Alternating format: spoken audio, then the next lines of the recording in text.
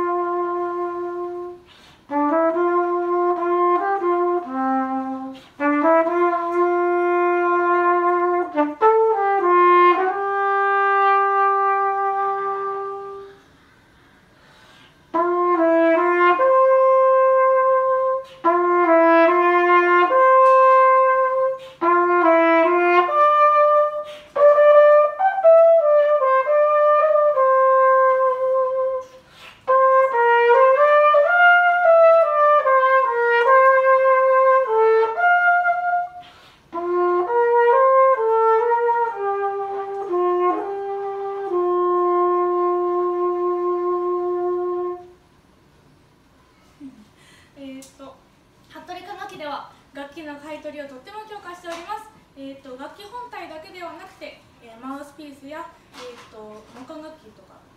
リガチャとかそこら辺も買い取りしておりますので、えー、ぜひぜひお家に眠っている楽器などある方は、えー、ご連絡ください